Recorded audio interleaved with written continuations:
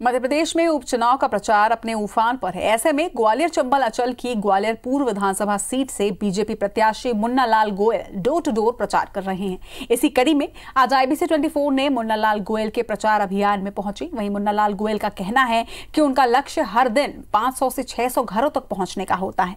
इसके लिए वो सुबह से देर रात कैंपेनिंग करते हैं। मुन्ना लाल गोयल विधानसभा की दूरियाँ, पैदल या फिर मोटरसाइकिल से नाप रहे हैं। बकौल मुन्ना लाल गोयल, ये उनका चौथा चुनाव है, लेकिन उस उपचुनाव से पहले से ज़्यादा मेहनत करनी पड़ रही है।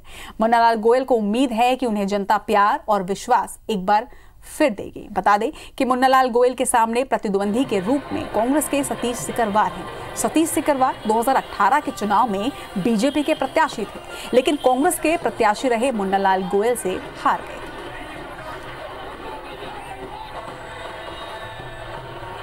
जनता काम चाहती है। भारतीय जनता पार्टी ने हमारे मुख्यमंत्री शिवराज सिंह चौहान ने मुराद क्षेत्र को तमाम सारी सौगातें दी हैं मुराद नदी के लिए पचास करोड़ दिया है सड़कों के लिए चौबीस करोड़ दिया है हमारे गरीब भाई थे उनके लिए पट्टे दिए हैं। तो निश्चित तौर पर चाहे गरीब सरवारा वर्ग हो चाहे क्षेत्र के लोग हों प्रगति विकास चाहते हैं वो सब काम भारतीय जनता पार्टी कर रही है और जो काम करेगा निश्चित तौर जनता उसके साथ खड़ी होगी। भाई जी कैसे देखते हैं इस चुनाव को? आपके कई चुनाव लड़ चुके हैं कैसा ये कैसे खास है?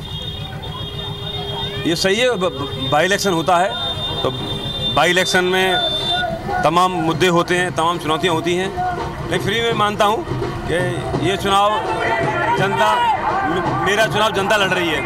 लेकिन आ, कैसे दिनचर्या कैसी रहती है? सुबह कैसे उठते हैं? शाम कैसी होती है? क्या रहता है? कैंपेन कैसे में मैं सुबह आठ बजे निकल जाता हूँ। और आठ बजे निकलने के बाद रात को दो बजे वापस आता हूँ।